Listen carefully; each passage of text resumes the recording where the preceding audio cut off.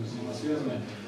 А, Мы уходим а, в историю, в историю и поговорим о нашем а, татарском ученом Шахабудине Маржани.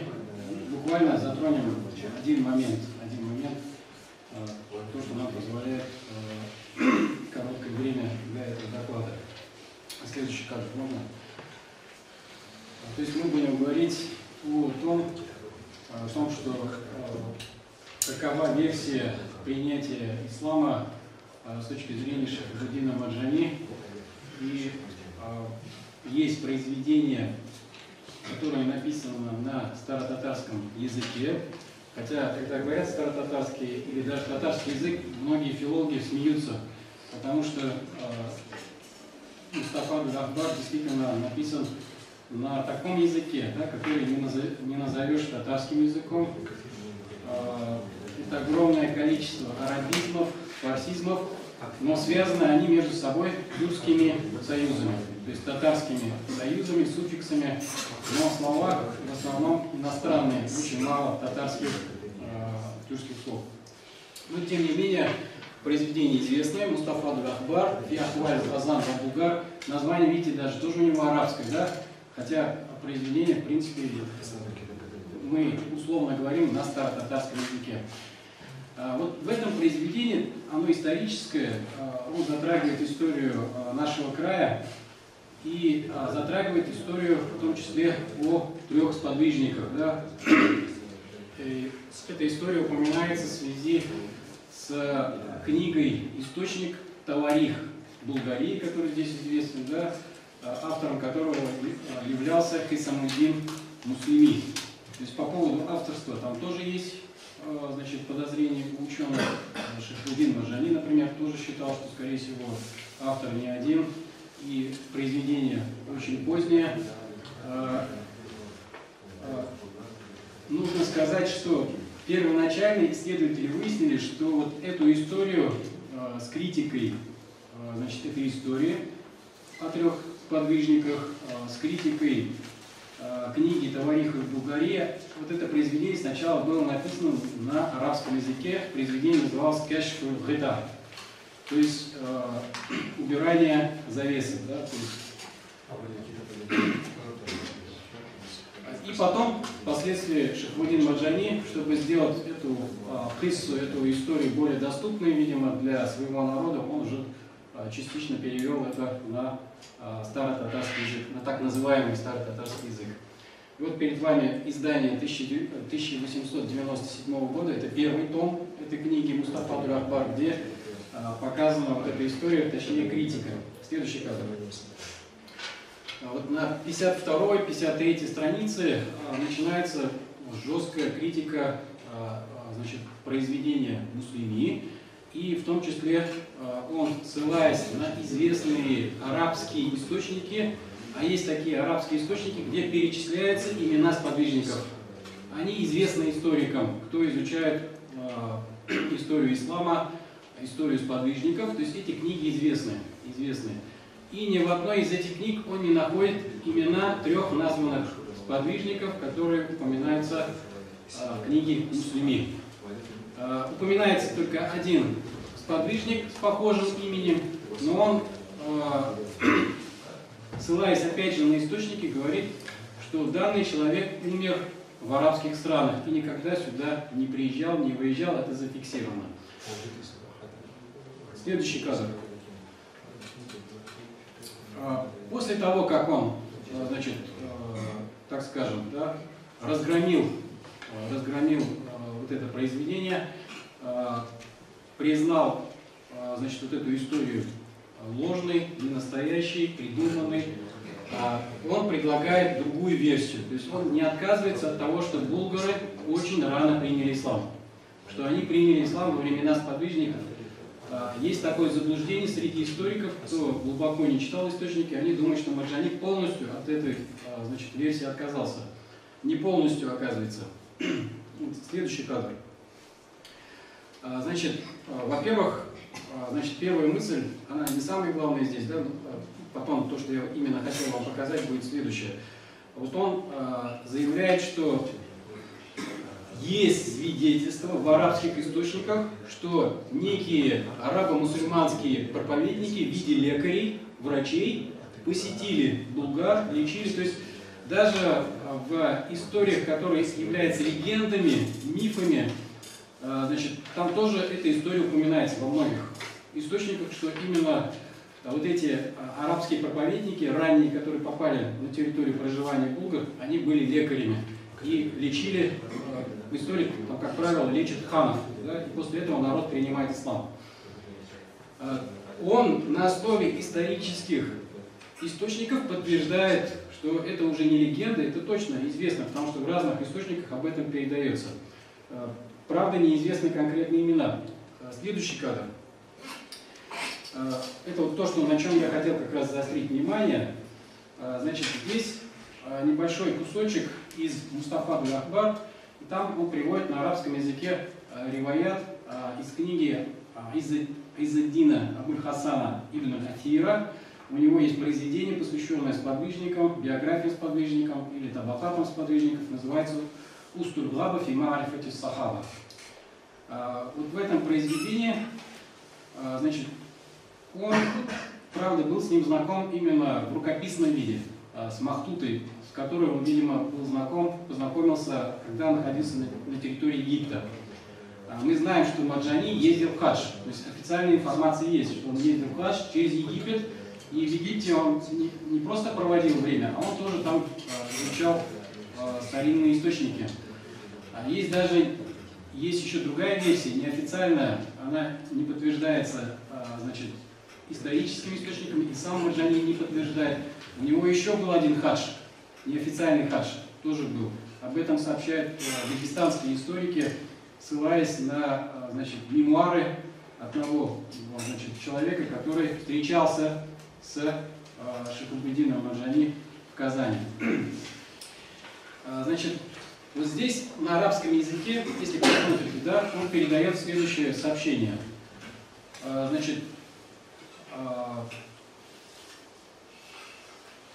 от Абу Хурайры передается, Каля, значит, Кадама Умейр ибн Афса или Акса в некоторых источниках фи асабатин мин аслям وإن رسول الله صلى الله عليه وسلم كتب لأمير كتابا تركيا ذكره ورواته نقلوه بألفاظ عربية وبدلوها وصحفوها таракнаха лидалика.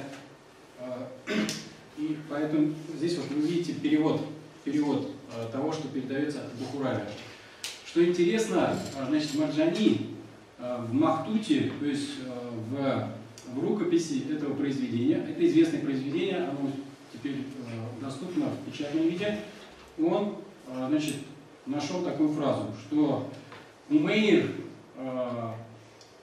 Ибн Афса, в некоторых источниках Ибн Акса, из племени Аслям приезжает к пророку Мухаммаду, алейхиссалям, и тот ему вручает письмо на тюркском языке. На тюркском языке.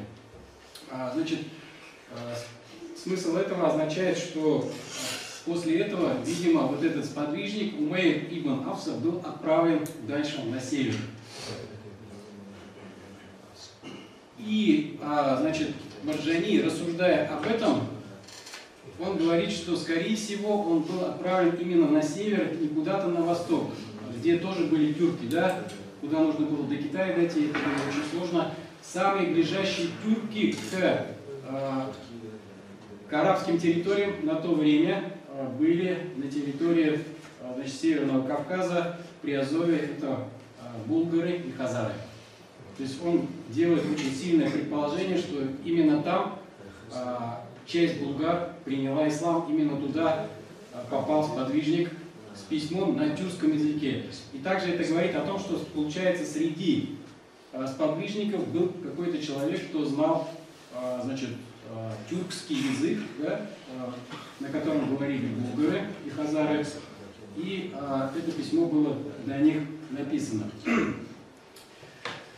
Самое интересное, значит, сам же Марджани пишет, что я обнаружил издание 1864 года, он говорит, обнаружил издание, а, тоже этого же источника Устурглаба и обнаружил, что Мухаккик, то есть редактор вот этого арабского издания, резко исказил текст. То есть слово а, «тюркин» просто исчезло. То есть и вообще смысл а, предложений изменился. Сообщение от Абу настолько изменилось, что смысл стал совершенно другим. То есть вообще получается никакого тюркского языка уже в предложении не упоминается. Следующий кадр. А, дальше. Вот здесь смотрите, что, что обнаружил Марджани. В рукописи, очень ранней рукописи, он нашел, что было на арабском написано «Дабан Дукин Закараху». А, а, значит, арабский мухаккак 19 века, да, и потом все современные издания тоже последовали этому. Китабан таракна викраху. Да, то есть смысл вообще сильно поменялся. Если здесь получилось а, письмо на тюркском языке, упомянул он, а здесь получилось письмо, упоминание о котором мы оставили. Видите, как резко поменялось название? А разница всего лишь вот в этих точках. Да? Смотрите, здесь внизу две точки, а здесь а, ногта наверху. Да? А, то есть он увидел рукопись с двумя точками, а печатную версию увидел, что а, арабский мухакак поменял, убрал эти точки и поставил здесь точку. То есть, или, видимо, а, мухакак опирался или на другую какую-то, значит, рукопись, да, или же ему рукопись попала без точек, без огласовок, да, и поэтому, значит, арабский мухакак или редактор а, пришел к этому мнению и, соответственно, а, затем а, это распространилось на все современные издания. Следующий кадр. Вот здесь перед вами, значит, тоже произведение Устурглаба, значит, Дару Кутук Альмия, это бейрутское издание, да, современное издание. И здесь, если вы прочитаете, следующий кадр. Значит, смотрите, как изменилось, да? Тот, тот же самый хадис, Анна Расулуллахи, саллаллаху алейхи вассалям, Катабали умейр ваман мааху китабан таракна дикраху. То есть э, смысл поменялся. Да? Еще здесь тоже интересно, у Маржани он приводит би альфас арабия, а здесь биль альфас гариба. Тоже, э, вот, кстати, биль альфас гариба больше подходит к версии Марджани как раз. То есть там же как раз он говорит, что сделано на языке тюркском, а здесь и получается, что непонятные слова, странные слова. Говорит, в этом письме странные слова, непонятные слова. Но слово «тюркин» здесь исчезло. Таракна просто оставили, потому что смысл получился, мы не поняли, о чем речь, да, и поэтому мы это оставили. Следующий кадр. Я попробовал посмотреть другие издания, другие издания а, Усудургаба, потому что есть разные редакции и посмотрел редакцию, а, значит, Даруль Фикр.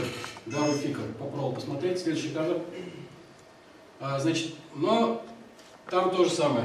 То же самое, то есть вы видите, Вайна Расулуллахи саллаллаху алейхи вассалям, катабали умайрин, ваман мааху, китабан, таракна дикруку. Опять.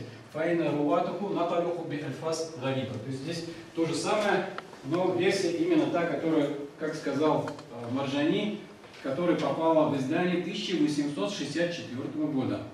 А, следующий кадр.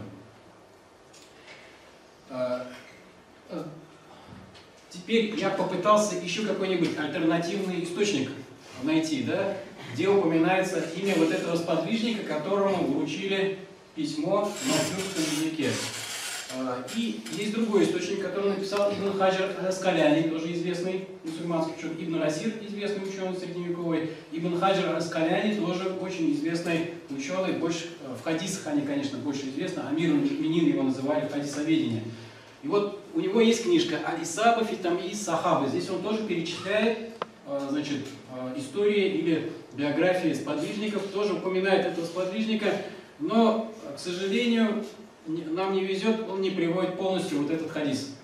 То есть пустота в этом месте, то есть в том месте, где бы мы хотели проверить, а, а в какой версии, в альтернативном источнике переводится этот хадис. Здесь пустота, нет. Но продолжение одинаковое. Во фихе альфас гариба. Да? Вот это продолжение есть, а вот тот самый текст, который мы проверили, э, на что опирался значит, арабский мухакак, мы уже здесь не можем проверить. Следующий кадр. Это вот сблизи то, что я показал. Ага, дальше. Все. А, значит, э, я просто хотел вот указать на вот такой момент, да, то есть получается, что э, Маржани был тоже сам мухактык, да, то есть человек, который является глубоким исследователем, изучает разные э, рукописи, разные версии и сравнивал их с печатными изданиями и об- обнаружил ошибку в арабских источниках, то есть э, в арабских изданиях, а может быть это, конечно, не ошибка, Аллаху алим, да, он обнаружил, что они пошли по другой версии и поменял слово, видите, Туркин стало Таракна. То есть э, вот такую тонкую деталь заметил Шихабудин Маржани. Э, что он хотел сказать? Он хотел сказать, что э, Умейр, э, значит, он же тоже араб из племени Аслам, то есть ему это письмо это ни к чему. То есть понятно, что этот Умейр, скорее всего, и был отправлен туда, на север, к тюркским племенам, и действительно, на самом деле, булгары еще в раннее время, даже до того, как они стали переселяться на территорию Среднего Поволжья, уже были мусульманами, уже приняли ислам на том раннем этапе. Но он подверг сомнению историю о трех сподвижниках, которые пришли именно на Среднюю Европу. Но считал, что сподвижники могли прийти в Приазовье, в Приазовье и там передать нашим предкам, передать учение ислама. А, Но главная цель у меня здесь просветительская, чтобы показать, э, насколько э, Марджани глубоко владел источниками. Это маленький только пример, а сколько у него там других инче- интересных тахтыка, то есть э, интересных открытий, которые он сделал не только в истории, а именно в богословии. Спасибо большое. Рахмат. Пожалуйста, вопросы может быть? Ну, біздің Шагариев Замир Адыганович болды. Ол енді Akademiya aukštam klientų grėžimui, belgiš, o ne kokį žinotelį, kad dar savo langą duosa, rašyti visą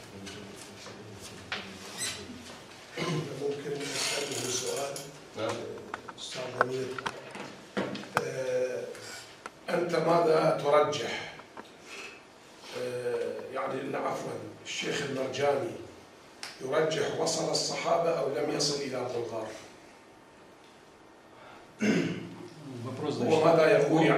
М-м. Маракю.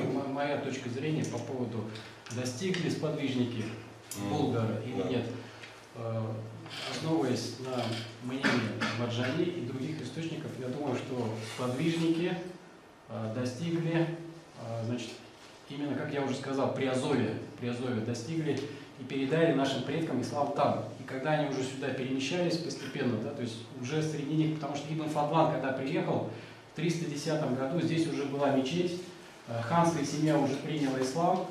Э, целое племя там было. В некоторых источниках Бараджар называется, некоторых, некоторых Баладжар уже были мусульманами, у них была мечеть. И они были последователями ханафитского масла. То есть Ибн Фазан уже застал там мусульман. То есть, скорее всего, они уже, вот эти мусульмане, туда уже переместились. Переместились э, с территории Приазоя. Thank.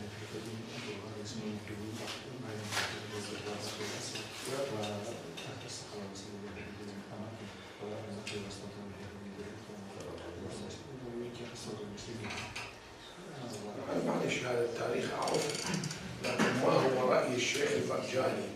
هل يقول وصل الصحابة أو هذا الصحابي إلى بلغار هذا سؤال محدد هو لا يوافق. لا يوافق. لا يوافق. هذا هو الصحيح لأنه لم يثبت تاريخيا أنه وصلوا إلى نحن نتمنى يعني لأن بس الصحابة الذين هاجروا إلى بلاد فارس وما وراء النهر كلهم موجودون في كتب ترجمة الصحابة. في في رايحي وصلوا إلى جنوب روسيا ما بين بحر كازوين آه وبحر اسود نعم. هاي واحد ثانيا سؤال ثاني وخلص يعني أنت الآن ذكرت عبارتين كتابا تركيا آه، يعني تقول يعني ذكره آه، كتابا تركنا ذكره ماذا ترجح؟ То есть э, كتابا تركيا آه، ذكره два, два كتابا ت- تركنا ذكره Э, Как, э, как раз вот э, Давид Казат рассказал, он упомянул э, две версии этого хадиса, в котором слово «турки» упоминается, и э, другая версия, где это, этого слова уже отсутствует, и шейх просто спрашивает э, Давид Хазрата, какую из этих версий вы для себя предпочтите? предпочтите? Ну, Я выбираю версию вот как раз Маржани. Плюс вот эта новая версия, которая арабского а, значит, мухаккака 1864 года, которая распространяется на все современные, там а, еще есть а, фраза «би альфас гариба», очень как раз подходит по смыслу. Нет, нет, с- Старакна Зикр как раз там есть «би альфас гариба», да, это а у Маржани «би альфас ара- арабия». هو ماذا يرجح؟ أي أي يرجح وجدنا ذكره فيه ألفاظ غريبة. في نسخة ثانية وفيه ألفاظ عربية. ماذا يرجح يعني أستاذ ضمير؟ عربية الاوجاز يرجح كتابا تركيا آه، ذكره آه، ونطلقه بألفاظ غريبة. لا. أنا أخذت لا لا لا أنا أقول لك. وأخذت من يعني أنا قرأت العبارة تماما. كتابا تركنا ذكره. لماذا؟ لأن فيه ألفاظ غريبة. لذلك تركنا. نعم. كلمة لذلك تركنا في آخر العبارة تدل على أنه كتابا تركنا ذكره ليس تركيا. ما علاقة تركيا بهذا الموضوع؟ كتابا تركنا ذكره لأنه فيه ألفاظ غريبة. لذلك لم نذكره في آخر العبارة. فالصحيحة هي تركنا ذكره. لماذا ترك ذكره؟ لأن فيه ألفاظ غريبة. وكرر. قال لذلك تركناه. هكذا أما كتابا تركيا ذكره. ذكره أين مفعول يعني ذكره أين؟ يعني العبارة ناقصة.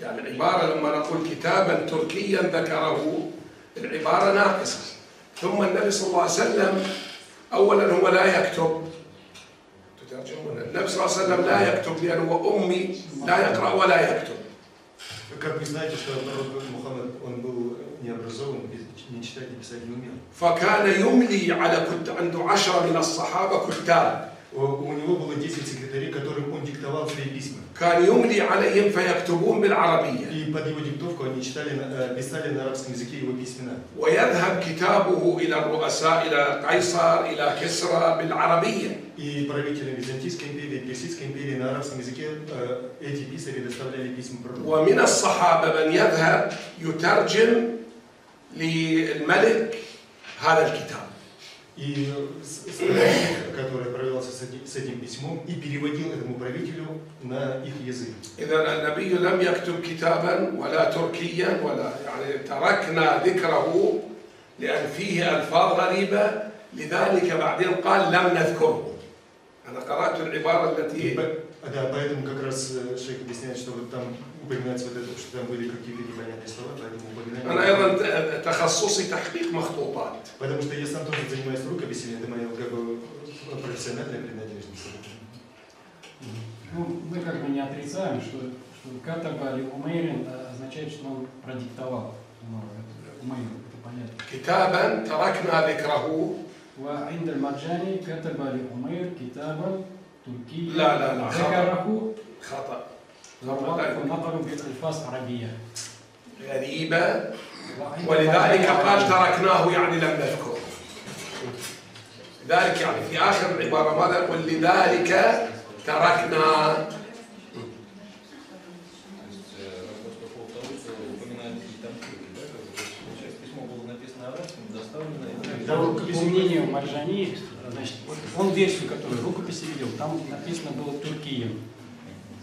А в печать, которая версия попала, Таракна, то есть эти буквы, они одинаковые, но огласовки и э, точки отличаются, и уже смысл слова поменялся. А и как он применялся, то есть что означает?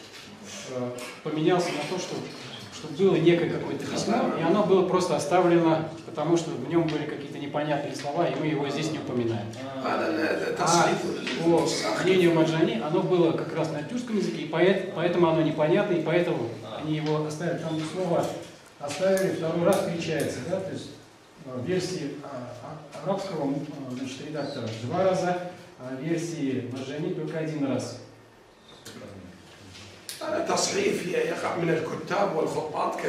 Очень часто случается, вот э, переписчики этих книг совершали ошибки. Да, Человек, человеческий фактор.